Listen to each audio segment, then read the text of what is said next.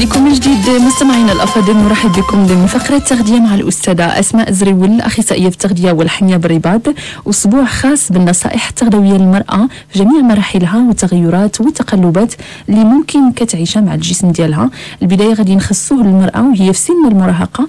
هذه المرحلة جد مهمة طبعا لبناء الجسم صحي وسليم حتى تمر بجميع المراحل ديالها والتغيرات ديالها. بسلام أستاذة أسماء صباح الخير.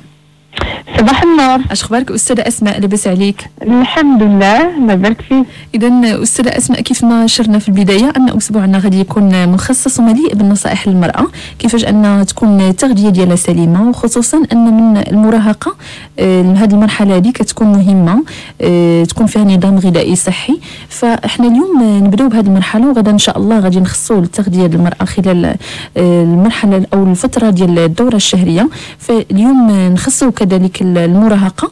ومن بعد عاد نشوفوا هذه المراحل الأخرى أستاذة.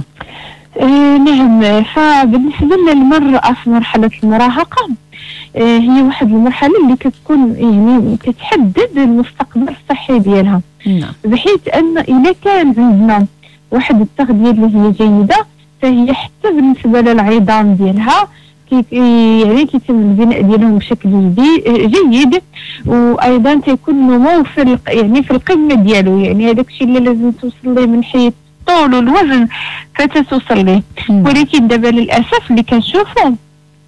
هو أن الأغلبية ديال المراهقات في هذه المرحلة كتنساق وراء يعني الموضة ديال الأكل نعم بحيث آه، دابا ولينا تلقاو مراهقة ديال 12 13 14 سنه عندها الجسم ديال امرأة يعني بالغة. مم. آه يعني ديال واحد الشابة اللي في العشرينات نعم يعني ولا عندنا حتى المشكل ديال الب- البلوغ المبكر عند آه، ال- ال- الفتيات يعني مم. الصغيرات نعم وهذا الشيء كيرجع للنظام ديال الحياة اللي ولينا تنتبعوه فولاو عندنا آه، داكشي اللي كنسميوه ماده المواد les perturbateurs hormonaux هاد les perturbateurs هادو شنو تيعملوا كيعملوا الدور ديال الهرمونات في الجسم.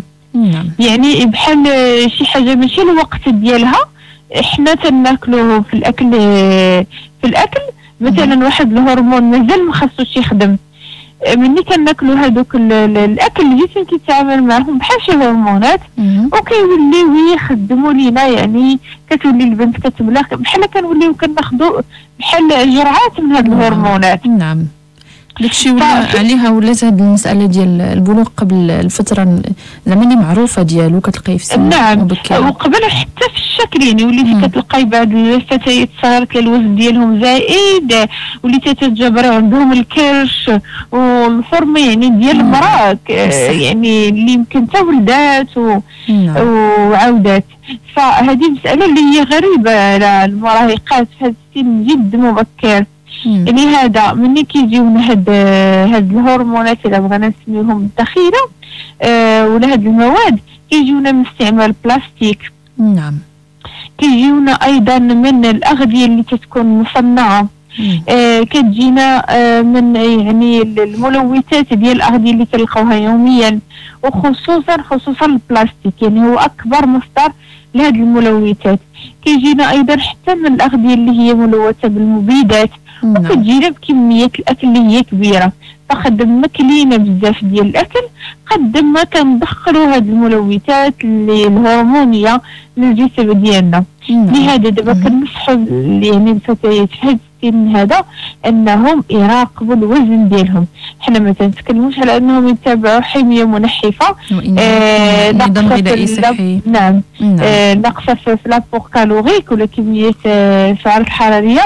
ولكن كنطلبوا منهم فقط يصلحوا النظام الغذائي ديالهم أنهم يتبعوا نظام غذائي طبيعي 100% أنهم يبعدوا على المقليات على هاد أنواع الساندويتشات اللي كل مرة كيخرجوا لنا بموضة جديدة. نعم.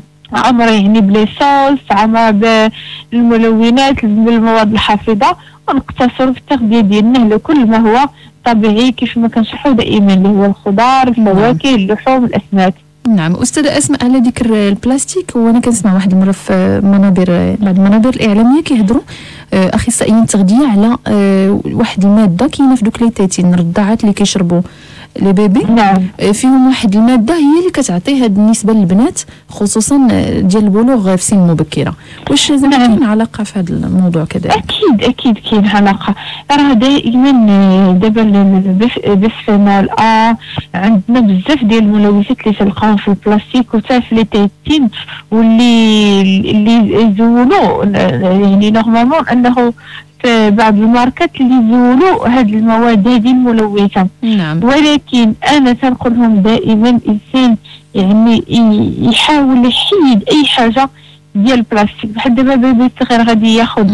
آه مثلا رضاعه مجبري أننا نعطيوها الرضاعه نعم. آه لازم أننا على الأقل يكون صغير نعطيوها الرضاعه ديال الزجاج نعم باش ما يكونش عندنا البلاستيك ديال مهم. والبلاستيك ديال الرضاعه نعم بما أني يعني كت- نسمعوا بزاف ديال المستمعين هاد هاد الموضوع هذا.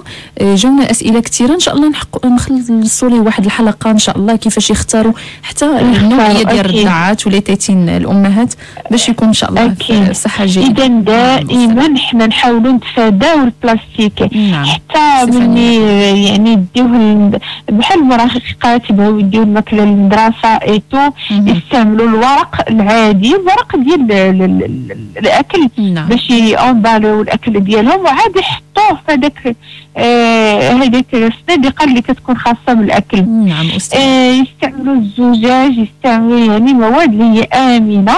آه، حتى في الطبخ نبعدوا على الالومنيوم نطبخوا في الإينوكس. بالدرجة الأولى آه، ونبعدوا على دوك القوالب ديال الحلوى اللي هما آه، يعني يخرجوا لنا جداد نعم. كنستعملوهم فنحاولوا دائما نقللوا من استعمال المواد هذه البلاستيكية خصوصا نعم. في في يعني المطبخ. نعم. إلا تبعنا هذا الشيء المرأة في هذه المرحلة كيخص الوزن ديالها يكون وزن اللي هو مثالي البطن ما لازمش انه يكون وأيضا لازم التغذية ديالها تكون متوازنة. نعم. الرغم بنسبه الفيتامين دي نسبه ديال آه، لو فيغ آه، باش كنعرف لأنهم هما ال- الركائز ديال نعم،. التكوين ديال الجسم. نعم إلا سمحتي نختموا بمكالمة معنا فاطمة من تارودانت مرحبا بك لاله فاطمة. صباح الخير أختي. صباح النور. مرحبا لاله كنشكركم فاطمة. على هذا البرنامج. مرحبا لاله فاطمة. صباح تفضلي الخير دكتورة.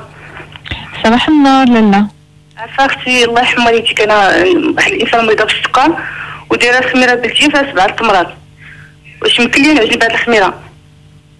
آه، دايرة الخميرة البلديه فيها التمر فيها سبعة التمرات مشكل.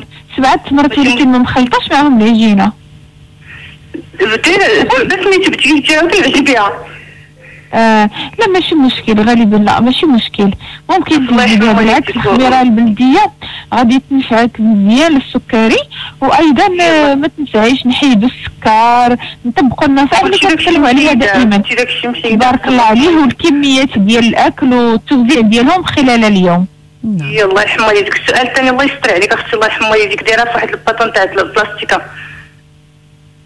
شنو هي؟ هاد خميرة- الخميره لا لا لا لا من الأحسن أنك هاد تاخديها. ديريها. ملي تبغي كما كنقولوا تربيها ديال الخميرة ديريها بالزجاج ولا في الأواني خزفيه ياكي وتغطيها. مني كتربيها كتولي تحطيها وسط هذاك الطحين.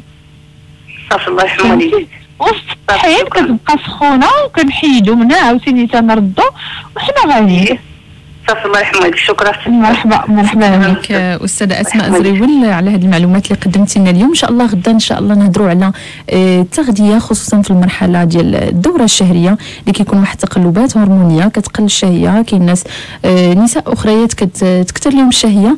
وكيفاش أننا نقللوا من دوك الأوجاع مع الأستاذة أسماء زريول أخصائية في التغذية والحميه بالرباط.